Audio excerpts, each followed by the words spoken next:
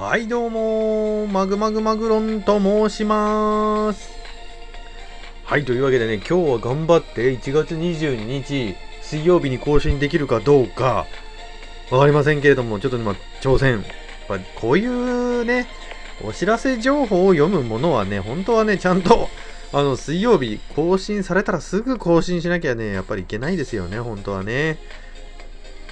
ようやっとね、ちょっとね、まあ、マグのお仕事の方がね、あの、一段落ついているので、今、これからはなるべく 水曜日に更新したいと思います。さあ、今回は何ですか？あ、レジェンドマッチですね。そうそうそうそう。前回ね、一発撮りしてるよね、確かね。あの、ボーナス選手をね。なので、えー、今回はレジェンドマッチをガンガン回しましょうという、そういう習慣ですよ。その前にですね、その下になんかややこしいのがあるじゃないですか。こちら、曜日マッチ開催。どうです？皆さん。曜日マッチやってます？えー、マグは前回の曜日マッチ、すっかり忘れてやっておりません。まあ、まあまあまあまあ、ね。やった方がいいかもしれないけれども、まあ、ぼちぼちやりましょうね。もう、この段階でワールドカップやってない人ってあんまりいないでしょう。もう多分全部クリアし終わってんじゃないのかなと思います。まあ、新規の方たちはね、えー、曜日待ち取った方がいいと思います。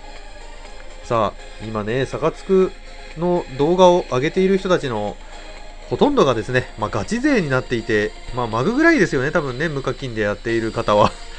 あんまりいないとは思うんですけれども、そんなね、えー、マグの動画で唯一、えー、アクセスがちょっと多くなるのは、この曜日マッチのモデル選手の解説 これがあるから少しだけマグの動画のがね、生き長く続けられる理由なんじゃないでしょうかね。また今回も曜日マッチの選手の中身をね、紹介していきたいと思います。もうこれぐらいしかね、マグのページ マグの動画の生きる道はないのでね、これで頑張っていきますよ。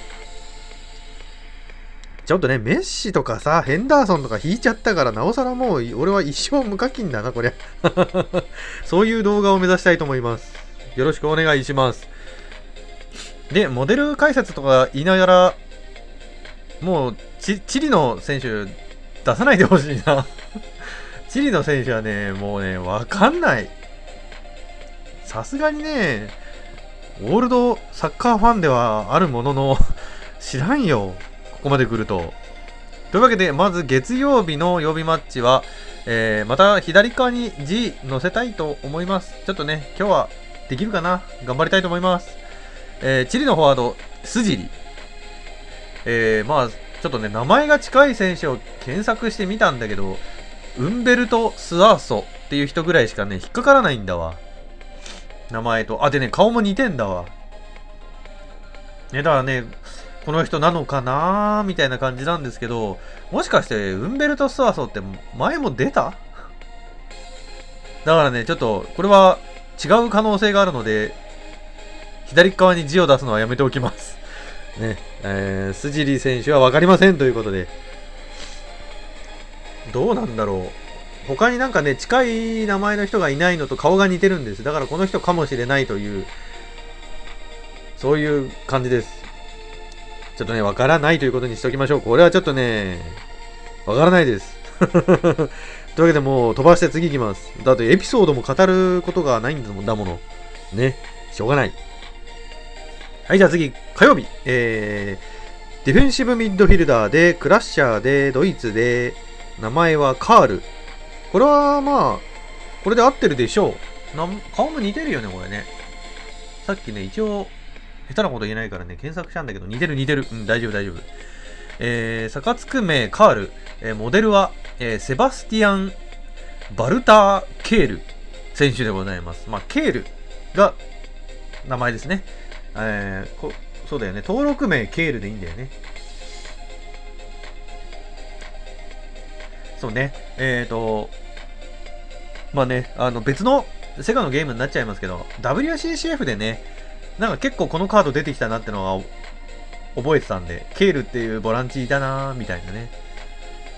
確かドルトムントだよね、確かね。えっ、ー、と、そう、ドルトムントで、えー、266試合出場しております、ボランチ。まあ、時期的には香川と一緒かな？適当に言ってるけれど ね、全然参考にならない。えーと、あ、でもト、ップ下でね、もう出たことがあるし、センターバックもある。まあ、真ん中ならどこでもやれるんだね。あ、一応、そういう実績があったからか、トップ下がオレンジですね。はい、というわけで、ドイツのボランチ、セバスティアン・ケールだと思われます。もう現在は現役を引退、サッカー解説者となっているそうです。ねえ、香川がね、いたんだったとしてもね、その当時のドルトムントを拝見していないので、エピソードはない。はい、では次、水曜日。まあ、これは、エピソードどころかみんな知ってるでしょ、これ。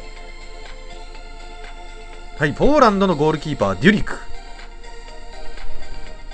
えー、これはもう、あの、有名なね、あの、チャンピオンズリーグ決勝で踊った人ですよね あの、彼のプレイスタイルがどうとか、ね、なんかそういうエピソードはないんです。ただ PK の時に踊ってた人。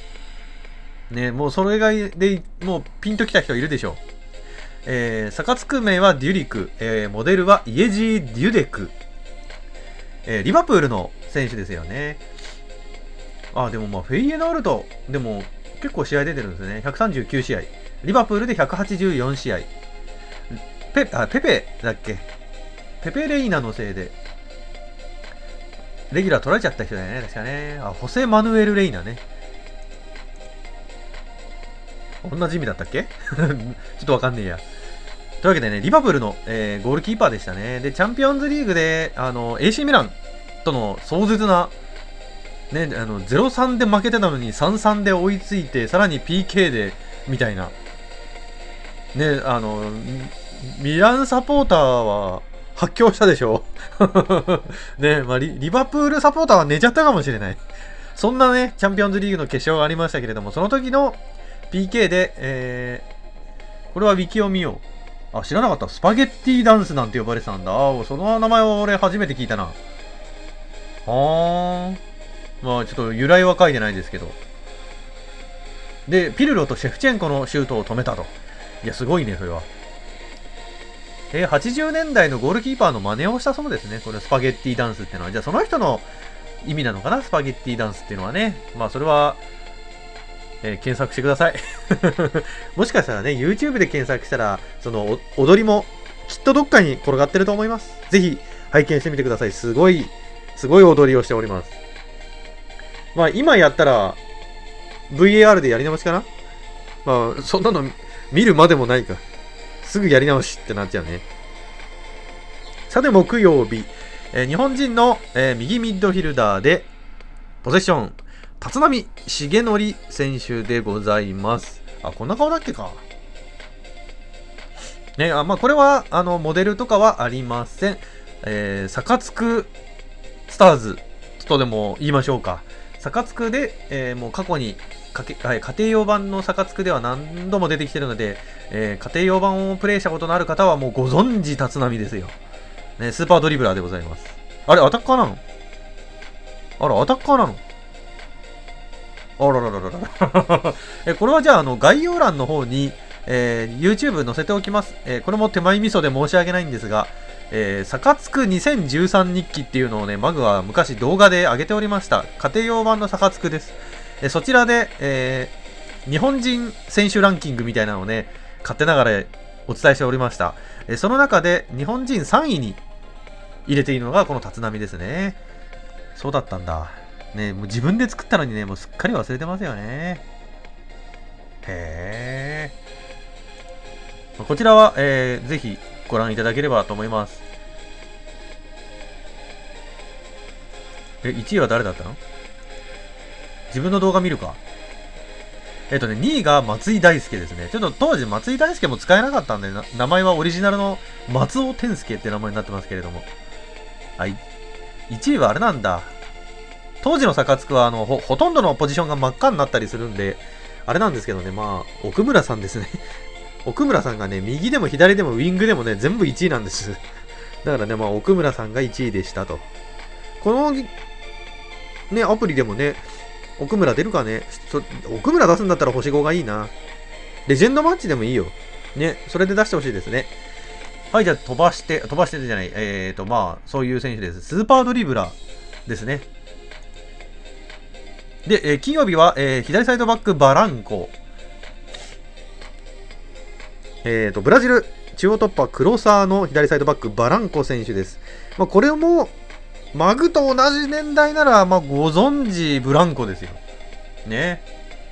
まあ、ブランコっていうとあのメキシコのブランコと勘違いしちゃうかもしれないですけど、左サイドバックのブラジル代表のブランコです。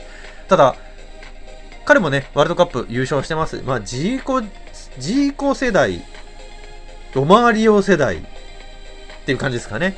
えー、ワールドカップには、86、90、94と出場しているので優勝メンバーですね。ただ、優勝した時はレギュラーじゃないのか。レオナルドにポジションを奪われたとか書いてあるね。全然なんかポジション違うような気するけどレオ、レオナルドってレオ様でいいんだよね、多分ね。じゃあ優勝した時はレギュラーから外れちゃったのかな。うん、そんな感じなことが書いてあります。左サイドバック、バランコ、あ、ブランコ選手でございます。ブラジル代表。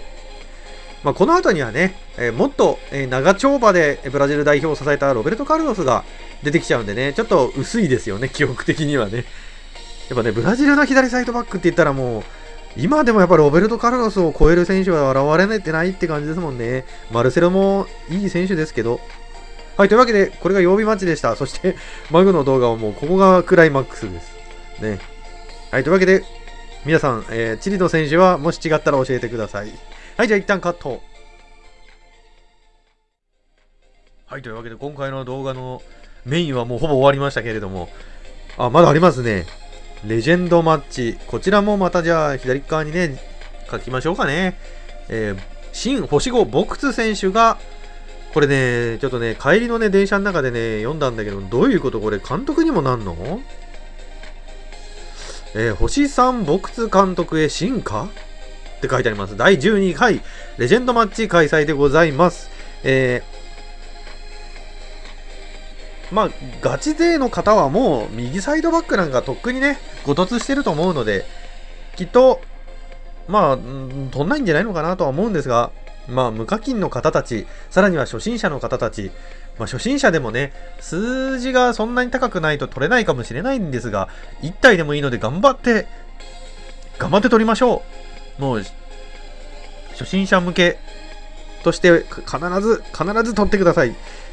できればご突しましょうって言いたいんですが、今回、監督にまで進化するっていうことはこれ、まず元となる選手を1体、ご突するための5体、さらに監督のための1体、つまり今回は7体集めなきゃダメと、そういう風にな解釈でよろしいんでしょうか、これは。よろしいですね。いやー、これは、今回マグはボーナスの選手を1体ゲットしてますが、それでもポカリ飲まなきゃダメかなちょっと心配です。7台取れたらいいんですけれども、頑張って、えー、レジェンドマッチや、やりましょう。監督もね、えー、いらないかもしれないんですね。あの、SWCC が目当てのの場合はいらないかもしれないです。えー、ただ、えー、まだね、あの、ドイツの、えバウアーゲットしてないとかっていう人も多いと思うので、多いかなね、と思うので、ぜひこのブンデス・アドラーも取っておきましょ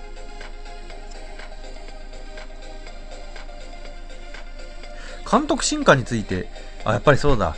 え、なにこれ？監督進化ライセンスが必要。またなんか新しいアイテムを用意してきましたな。え、特徴に監督進化を持った星5選手であることってことは、じゃあまあ他にも出てくるのかな？え2段階まで覚醒していること。えさらにレベルを50まで上げること。なるほど。じゃあ次回のレジェンドマッチはぜひ、アルテタで ダメかな？アルテタで。ね。お願いしますよ。えーと、進化ボタンってのが追加されるそうです。じゃあまず最初は新星さん監督、ボクツ。ブンデスアドラー4141のフォーメーションの新監督が追加されるようです。またあれかな？ドイツ3%増えるとかかな？シュート、パス、マークが最大80、あ、そうだね。えー、ドイツの選手1人当たり3%が強化されるってやつですね。あ、久しぶりに連携指導もあるんだ。1体しかね、この連携指導がないんでね。はい、というわけで、司令塔、アタッカー、テクニカルドリブラー、組み立てサイド、カバーリングってことは、今回手に入れたボーナスのドラッグスラーは、育てないといけなくなったか。今回のレジェンドマッチ終わったら使わないんだろうから、覚醒2回目までやるの嫌だなと思ってたんだけど、やることになりそうですね、これは。というわけで、じゃあまずは監督のボクツの映像とともに、今多分字が出てるとは思うんですが、どういう人なの？えー、監督歴としては、あ、西ドイツ代表監督。ドイツ代表監督。のイメージが強いですね。それ以外はなんかこう、レバークーゼンとかクエートとかスコットランド、ナイジェリアとか、そこら辺はなんかこう、ワールドカップにも出てなさそうですね。えっ、ー、と、ただ監督としては、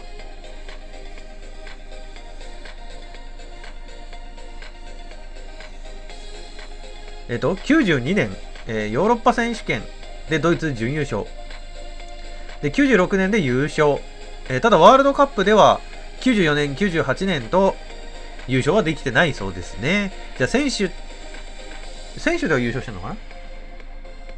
あ、選手では優勝してるので、えー、ベッケンバウアーに次ぐ選手、監督両方で優勝ってのはならなかったみたいですね。あ、俺名前言ってないっけ？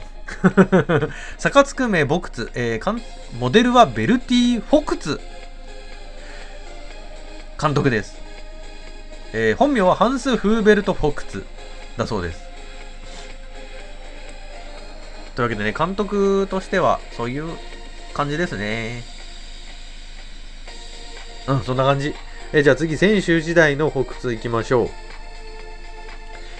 う。ポジションは右サイドバック。デアテーリアって書いてありますね。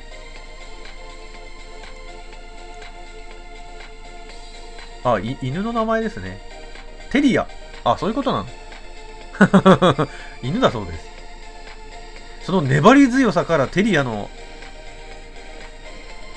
デ、デアテーリアのニックネームで呼ばれたそうです。マンマークにタケって書いてるけど、マンマークなのかな、やっぱり。あ、そこは裏切ってきたね、サカツク。そこはサカツク裏切ったね。スピード、パワー、スタミナ、スタミナ、スタミナ、パスカット。おいおいおいおい、使えんのかこの選手。おい、これ大丈夫か？今ちょっと、これ、帰りの電車の中で見なかったな。おこれ大丈夫か？おい、フィジカルしかないぞ、この選手。いやー、なんか、ご突しても不安だな、これ。ねえ、杉岡のドイツバージョン。大丈夫か？これ。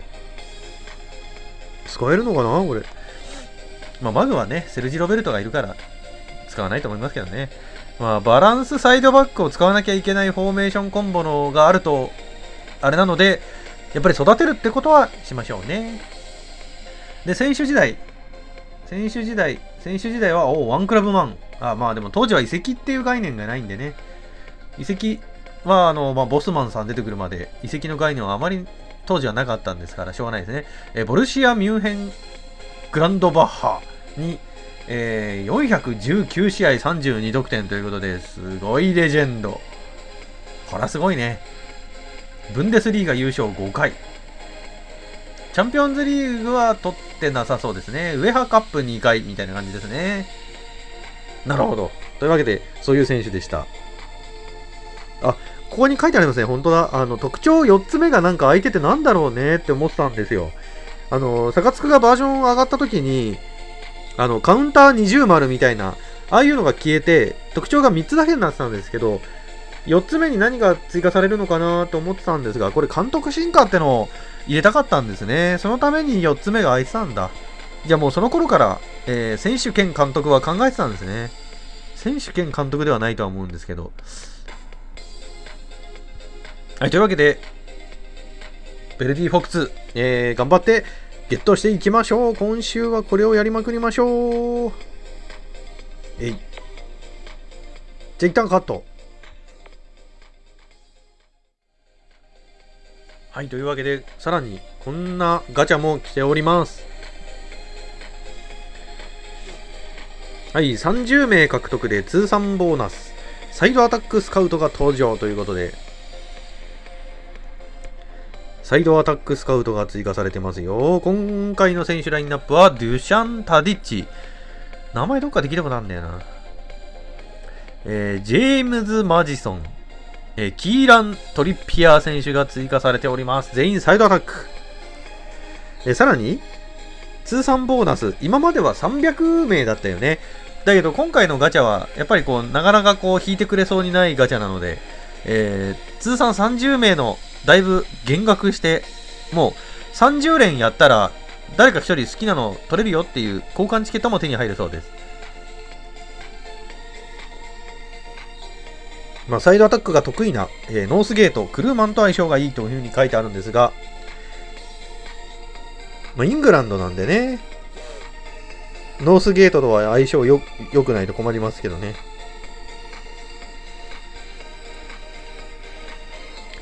えー、で、えー、センターフォワード、セルビアのデュシャン・タディッチ。なんかね、名前聞いたことあるなと思って、実はね、検索したんですよ。どっかで聞いた、どっかで聞いたと。ただ、プレミアリーグでプレイしたんですね。ゴーデンゾーネンの速射砲。まあ、詳しい意味はわかりませんけれども、ゴーデンゾーネンですよ。ねえ、わからないですよ、意味は。まあ、とにかく、すごいことですよ。えっ、ー、と、サウサンプトンで134試合、20得点だったそうです。ああ、なるほどね。サウサンプトンにいたんだ。まあ、聞き馴染みがあるってのはそこら辺だけでしょう。はい、次。で、えー、まあ今、えー、売り出し中の若手トップ下、えー、ジェームズ・マジソンも追加されてますね。まあ、レスターのフォクシーズの新王と書いてありますけれども、まさにそんな感じですよね。マフレズいなくたって、もう全然関係ないっていうね。えっ、ー、と、ジェームズ・マディソンは確かあの、ユナイテッドが、えー、まあ全力を出してね、えー、獲得に向かっているんですけど、ちょっと今、単純にレスター2位ですからね。これ、ユナイテッドに移籍することは、よっぽどお金積まないと無理じゃないかなと思いますよ。まあ、年俸の方ですよね。積むのはね。移籍金じゃなくて。そうじゃないとね、多分、実現はしないだろうなと思います。さらにレスターは、えっ、ー、と、な、なんだっけ、リンガードとトレードみたいな話してるけど、割に合わないですよね、リンガードでは。ね、ちょっとまあ、ユナイテッドファンには申し訳ないですけど、リンガードと交換は合わないなちょっと、年齢も違うんじゃないの？わかんないけど。どう？ちょっと今、見てみようか。あ、リンガードの年齢は書いてないか。リンガード27歳、マジソン23歳。いやー、これ割に合わないね。割に合わないね、これはね、やっぱりね。はい、というわけで、まあでも、マジソンとしても、ビッグクラブ行くなら、このシーズン終わってから考えてもいいんじゃないかなとは思いますけどね。ね。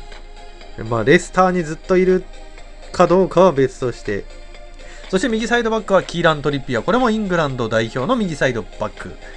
前回のワールドカップでは活躍しましたね。フリーキックとかね、クロスもかなり精度の高いものを持ってましたからね。トリッピアのフリーキックからマグワイアのヘッドみたいなね。もう、そればっかりやってましたからね、イングランド代表はね。なのでね、このトリッピア、なかなかいい選手なんですが、今はどうなの？アトレチコだっけ？に確かいると思うんだけど、多分今、イングランド代表、ちょっと試合見てないんでわかんないんですけど、アーノルドじゃないかな、右サイドバックって今。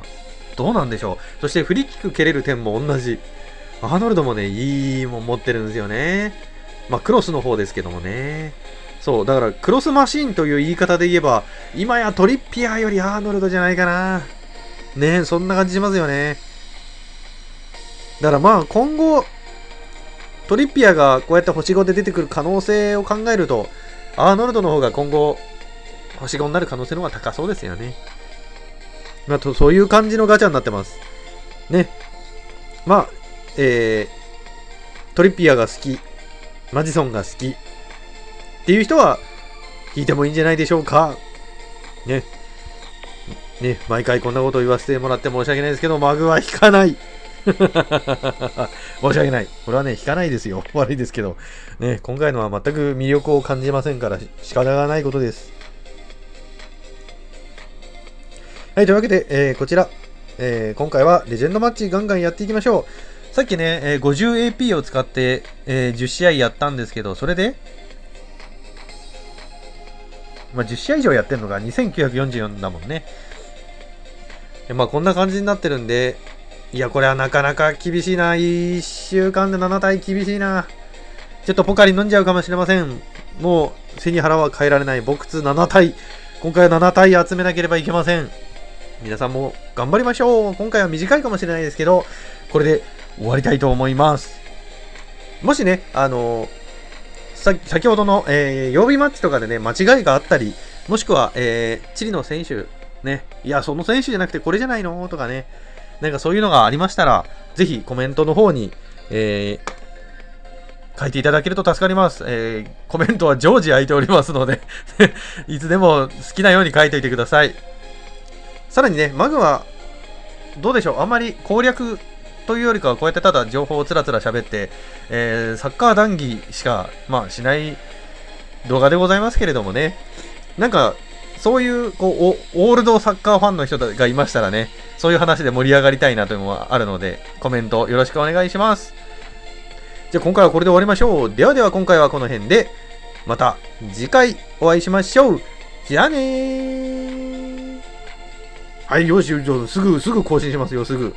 今日中に今日中に編集するぞ